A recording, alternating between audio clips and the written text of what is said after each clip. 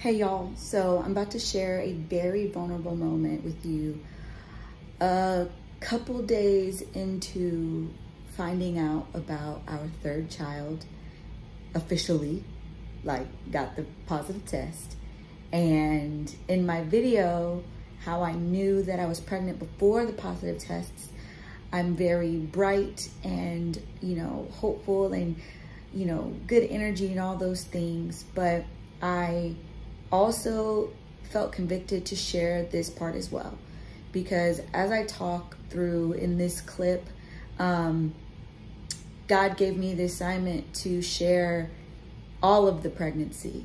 And it's crazy how quickly we forget the hard moments once we release them. So even when I recorded the how I knew I was pregnant video, I was four months I'm currently five months pregnant. So this moment happened months ago and I didn't even remember it until I'm here, you know, working through all the content and bringing you the documentary of it all.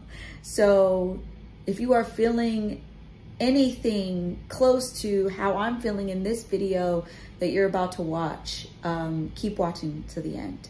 So just found out we are having baby number three. Technically, baby four, but my third pregnancy. And God told me in the midst of me feeling all sorts of emotions and not even all good ones, honestly. Like, I knew, I already knew I was pregnant before I took the test. I was already preparing myself, going through just things I know to do. And I was, I had peace in all of that. And then today I had a moment of just like being mad about it. Like, I'm gonna have to go through pregnancy again. My last pregnancy was really hard. Like, postpartum was really hard. Maybe that's what I'm like trying to not like focus on because I'm more prepared than I've ever been to be an, a mom again to another child. I'm more spiritually focused and just like as a person stronger than ever. Mark and I are in the best place we've ever been in our relationship, in our marriage. You know, like I still felt like some anger about it. And I don't know, I think it's like as much as children are a blessing, I'm not gonna lie, like part of me is just like, couldn't I just have just like a year off? Couldn't I just have like a break? Like, couldn't I just like had been just like not literally attached to a child, whether it be through pregnancy or breastfeeding, just for a little while. And so I was just talking to God about it, and He said it's okay for me to feel the way I feel, and that it doesn't disqualify me from being a good mom, a great mom. It doesn't. It's just the reality of life, and sometimes, like, God's plans and timing is just not ours. And I have to be okay with that. And I have to get that frustration out of me so that it doesn't become something else. So he told me that this series of me documenting this pregnancy from start to finish, and I'm going to show you what real pregnancy looks like, my experience, and how I'm filling this pregnancy with so much prayer that I know it's going to do what it's supposed to do in me. And so God has given me the assignment to share it with you as well.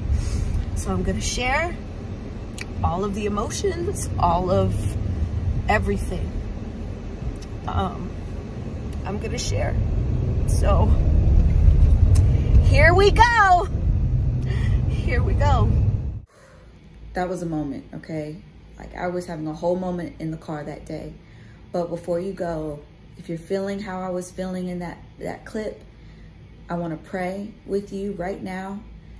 And this is a prayer that I would give myself in that moment. Lord, you know what is in my heart. You know what is in the heart of every single person watching this video.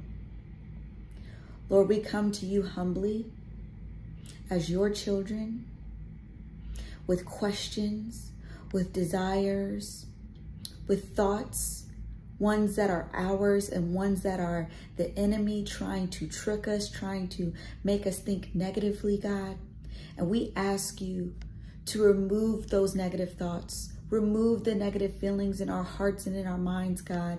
Give us and fill us with your peace, God, with a sense of, of contentment, Lord, with whatever your will is for us, God, regardless of our timing, of what we thought it was going to be, regardless of our will, God. We sacrifice our will for yours because we know in this we will achieve and understand what true life looks and feels like. Lord, we know that your ways are higher than our ways and your will is always for our good. So with our very low viewpoint of just in the moment of feeling frustration, anger, anxiety, depression, all of those things, God, we release them to you in this moment. And we ask you to instead give us all of your fruits. Give us your kindness, your peace, your joy.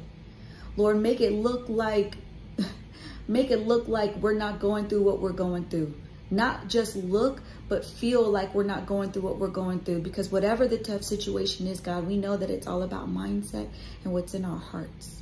So God, we thank you for the ability to have access to you and we honor you for being our provider, for being our father, a good father who never lets us down, who's always there to make sure that we're taken care of, who loves us beyond understanding, and who loves our unborn and born children like beyond what we could ever mentally understand.